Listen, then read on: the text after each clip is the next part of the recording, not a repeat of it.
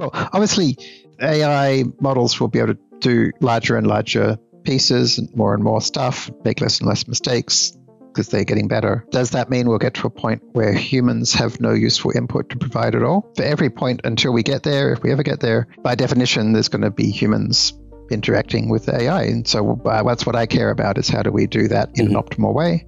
And I feel the optimal way is to have the humans and the AI in the same environments, sharing that humans and computers work better together. The human and the computer should be able to see all of each other's work and be operating in the same direct environment. Devin is the opposite of that. There are so many places we wished we could have got involved, you know, and could have like worked together and be like, I know how to debug that. You know, it ended up taking a lot longer to do things than we would do them on our own and ended up with much less high quality software and it ended up with kind of vibe coded stuff that we couldn't really build on top of anyway, which kind of, in a lot of situations, it has no value.